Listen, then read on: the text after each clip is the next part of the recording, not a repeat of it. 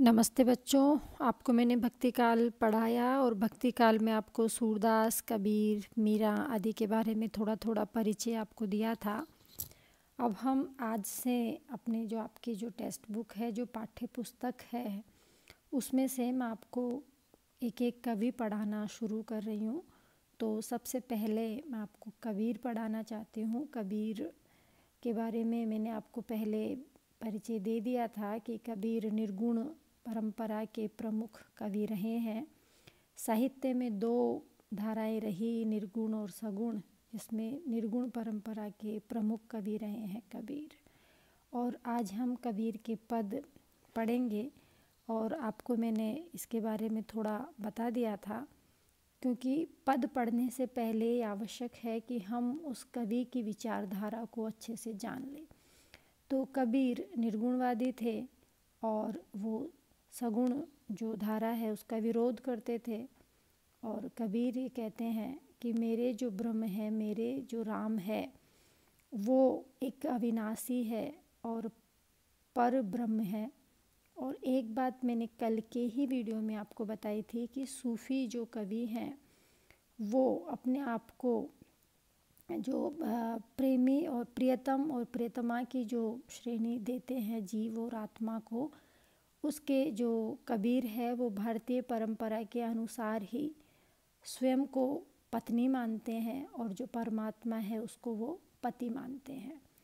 जबकि सूफ़ी जो काव्य धारा है, उसमें जो परमात्मा है, वो प्रियतमा है और जो जो भक्त है, वो प्रियतम है। तो ये विचार, यहीं पर ये जो पद है, कबीर का, ये काफ़ी प्रसिद्ध पद है। और ये बहुत, आप पढ़ेंगे, इसको फ़र्स्ट ईयर से लेके आप एमए तक हिंदी में इस पद को बार बार पढ़ेंगे, क्योंकि ये पद कबीर की एक ऐसी विचारधारा को हमारे सामने लेकर आते हैं, जिसमें जो भारतीय विचारधारा है कि हमारे यहाँ जो जो शादी में परंपराएँ होती है और उनको किस तरह से कबीर ने प्रतीक बनाकर, प्रतीक के माध्यम से किस तरह उपमाएँ देकर उन्होंने जीवात्मा और परमात्मा का मिलन इसमें दिखाया है, उसका वर्णन यहाँ पर किया है। कबीर ने, दुल्हन गावहु मंगलाचार, हमारे घर आए हो राजा राम भरतार। तन रत करी मैं मन रत करी हूँ, पाँचों तत्व बाराती। राम देव मोर पाहुन आए, मैं जो बन मदमाती। शरीर सरोवर वेदी करी हूँ, ब्रह्मा वेद उचार। राम देव संग बाहर ले हूँ धन धन भाग हमार। सुर तैतीसों कोतिक आए मुनिवर सहस अठासी कहे कबीर हम ब्याह चले हैं, पुरुष एक अविनाशी। ये एक पद है और ये काफ़ी महत्वपूर्ण है व्याख्या की दृष्टि से भी।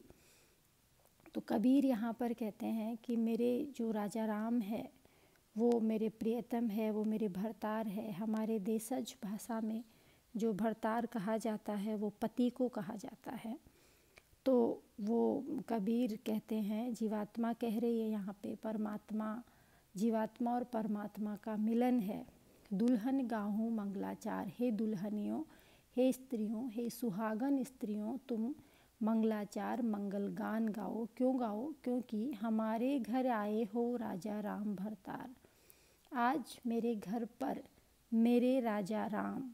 जो ब्रह्म है, दशरथ पुत्र राम यहाँ पर नहीं है, ये पर ब्रह्म परमात्मा राम है। वो राजा राम मेरे भरतार, मेरे प्रियतम, मेरे पति बनकर आ रहे हैं, इसलिए तुम उनका स्वागत करो, मंगल गान गाओ।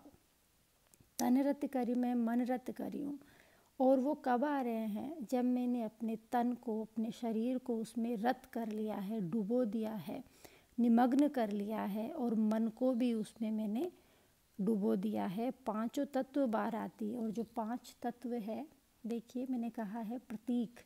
पाँच तत्व है आकाश, जल, पृथ्वी, वायु, अग्नि और ये जो पाँचों तत्व है, इन सबसे जो हमारा, हम मानते हैं कि जल, वायु, आकाश, पृथ्वी, अग्नि, इनसे हमारा शरीर बना है तो ये पाँचों तत्व ही ब्रह्मांड में है और ये ब्रह्मांड से ही हमारा शरीर भी बना है।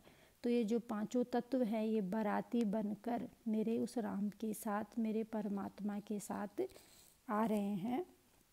और ये जो पाँचों तत्व है, आकाश, वायु, अग्नि, जल और पृथ्वी, ये सारे मिलकर बाराती बनकर आ रहे हैं। रामदेव मोरे पाहुने आए। वो रामदेव, वो पर ब्रह्म परमात्मा मेरे पाहुने मेहमान अतिथि बनकर आए हैं। मैं जोवन में माती और मैं उनके अतिथि बनकर आने में अपने आप को धन्य भाग समझ रही हूँ, इतरा रही हूँ एक तरह से। प्रसन्नचित हो रही हूँ और शरीर सरोवर वेदी करी हूँ, जो शरीर रूपी सरोवर है। रूपक अलंकार आ गया है, अनायास। वो शरीर रूपी सरोवर तालाब जो है, वेदी करी हूँ, उसको मैंने वेदी बना लिया है। जब शादी होती है तो एक वेदी बनाई जाती है, जिसमें आग जलाई जाती है और फिर वेदों का उच्चारण किया जाता है मंत्रों का शादी में। वैसे ही ब्रह्मा वेद उचार, और वो कहते हैं कि इस जीवात्मा और परमात्मा के मिलन में, शादी में जो ब्रह्मा है, वो वेदों का उच्चारण कर रहे हैं। रामदेव संग बाहवर ले हूँ मैं उस रामदेव के संग, उस भरतार, उस परमात्मा के संग भावरी ले हूँ भावरी मतलब फेरे लेना, उसके साथ बंद जाना। धनी धनी भाग हमार, और ऐसा करके मेरा जो भाग्य है, वो धन्य हो गया है। मैंने अपने आप को धन्य कर लिया है उस परमात्मा के साथ, फेरे लेकर अपने आप को उस परमात्मा से बाँध कर और उस शादी में कौन आए हैं? सुर तैंतीसों कोटिक आए। तैंतीस करोड़ देवी देवता हमारे यहाँ माने जाते हैं। तैंतीस करोड़ देवी देवता है या नहीं है, ये एक अलग प्रश्न है। लेकिन माना जाता है कि तैंतीस करोड़ देवी देवता और मुनियर सहस अट्ठासी अट्ठासी हज़ार मुनिवर भी उस शादी में आए हैं। कहे कबीर हम ब्याह चले हैं, कबीर कहते हैं कि मैं उस अविनाशी पुरुष, उस परमात्मा के साथ ब्याह कर चले गया हूँ, जुड़ गया हूँ, यानी आत्मा और परमात्मा का मिलन हो गया है। तो ये एक अद्वैतवाद की विचारधारा भी है कि आत्मा और जीवात्मा, जो परमात्मा और आत्मा दोनों एक ही है, जन्म के बंधन के कारण वो अलग अलग हो गई है, लेकिन यहाँ पर उस जीवात्मा और परमात्मा का मिलन हो गया। और इसलिए मैं उस परमात्मा के साथ आज एकाकार हो गया हूँ। तो इस तरह कबीर ये कहते हैं कि उस परमात्मा और जीवात्मा के मिलन का जो आनंद है, वो आनंद एक प्रियतम और प्रेमतमा के मिलन के आनंद जैसा ही है और उसके लिए उतना ही उत्सव, उतना ही खुशी मनाई जानी चाहिए। जितनी खुशी हम एक शादी में मनाते हैं। दूसरा जो पद है, गोविंद, हम ऐसे अपराधी। ये ऊपर वाले जो पद है, उससे बिल्कुल अलग है इसकी विचारधारा। और ऊपर वाले पद में जो भाव है, वो बराबर का भाव है। उस परमात्मा से मिलन का भाव जो है, वो बराबर का भाव है। जीवात्मा और परमात्मा में कोई भेद नहीं है। यहाँ पर जो भाव है, वो थोड़ा दास्य भाव आ गया है। अपने आप को अपराधी महसूस करना, अपने आप को ये महसूस करना कि हम उस परमात्मा को किस तरह भुला देते हैं, उसका वर्णन इस पद में कबीर ने किया है। गोविंद, हम ऐसे अपराधी, जिन प्रभु जीव पिंड था दिया, तिसकी भाव भगति नहीं साची। परधन, परतन, परतीय निंदा, पर अपवाद न छूटे, आवागमन होते है फुनि पुनि, इहु पर संग न छूटे। जीगर कथा, होत हरि संतन, एक निमिष ने कीन में फेरा। लंपट चोर धूत मतवारे, तिन संग सदा बसेरा।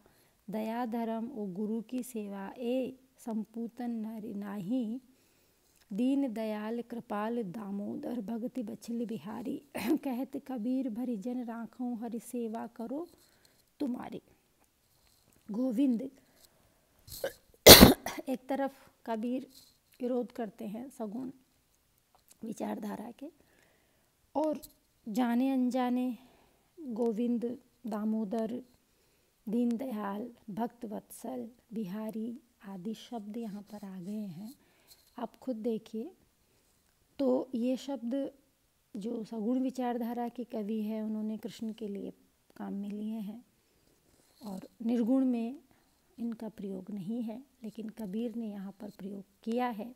लेकिन फिर भी कबीर जो बात करते हैं, वो निर्गुण की ही करते हैं। नाम भले ही गोविंद का आ गया हो, बिहारी का आ गया हो, दामोदर का आ गया हो, लेकिन बात कबीर निर्गुण की ही करते हैं। तो कबीर कहते हैं कि, हे गोविंद, हे ईश्वर, हे ब्रह्म, हम ऐसे अपराधी हैं।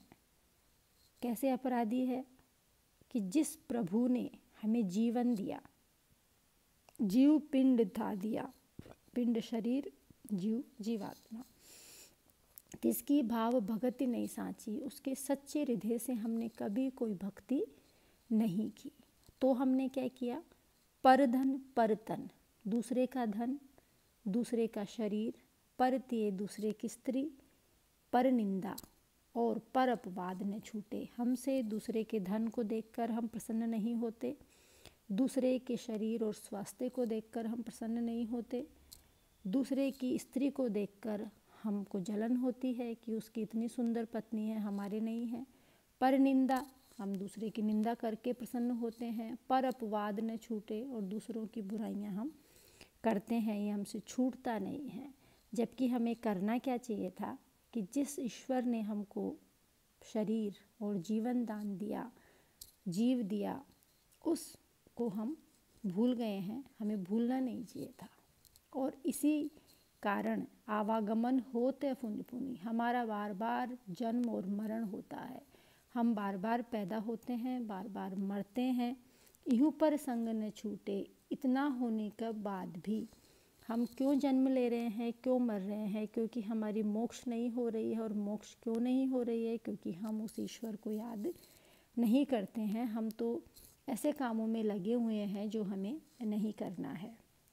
जी घर कथा होत हरि संतन, एक निमस ने कीनी में फेरा। जिस घर में हरि भजन होते हो, हरि की कथा होती हो, सत्संग होता हो, एक निमिष, एक पल भर के लिए भी मैं वहाँ पर रुकता नहीं हूँ, वहाँ पे घूमता नहीं हूँ, फेरा नहीं डालता हूँ, गुजरता नहीं हूँ।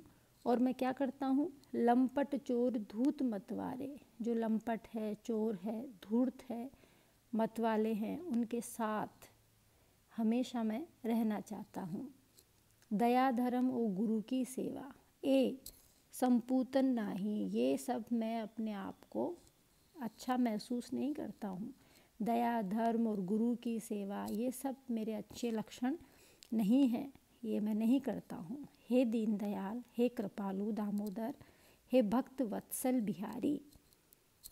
कहत कबीर भीर जनि राखो, हर सेवा करो तुम्हारी। हे ईश्वर, मैं किस तरह आपकी सेवा करूँ? मैं क्या करूँ? मैं ऐसा हो गया हूँ, इतना बड़ा अपराधी हो गया हूँ कि ये सारे कार्य जो मुझे नहीं करने चाहिए, वो मैं कर रहा हूँ और जो मुझे करना चाहिए, वो मैं नहीं कर रहा हूँ तो यहाँ पर कबीर अपने आप को एक तरह से कोसना, एक तरह से अपने आप को सजग करना, एक तरह से ये कहना कि मुझे जो करना चाहिए वो मैं नहीं कर रहा हूँ। तो हे प्रभु, मैं आपका अपराधी हो गया हूँ और ऐसा अपराधी हो गया हूँ जिसके हे दीनदयाल, हे दामोदर, हे कृपालु, आप ही मेरा उद्धार कर सकते हो। बाकी मैंने कोई भी ऐसा कार्य नहीं किया जिससे आप मेरा उद्धार करो तो हे गोविंद, मैं आपका अपराधी हूँ। आज हम ये दो ही पद पढ़ेंगे। इन दोनों पदों को आप एक बार दोबारा अपनी किताब आप देख लीजिए। और फिर भी अगर आपको समझ नहीं आते हैं तो मैं आपको दोबारा समझा दूँगी। एक बार आप इनको पढ़िए और ये जो किताब है, ये देखिए वीडियो में काव्य कलश, डॉक्टर किरण शर्मा की ये किताब है। आपको ये मिल जाएगी चौड़ा रास्ता में तो आप वहाँ से इसको ख़रीद लीजिए। तो इसके पद अगर आप देखकर पढ़ेंगे तो आपको अच्छे से समझ में आएँगे। धन्यवाद।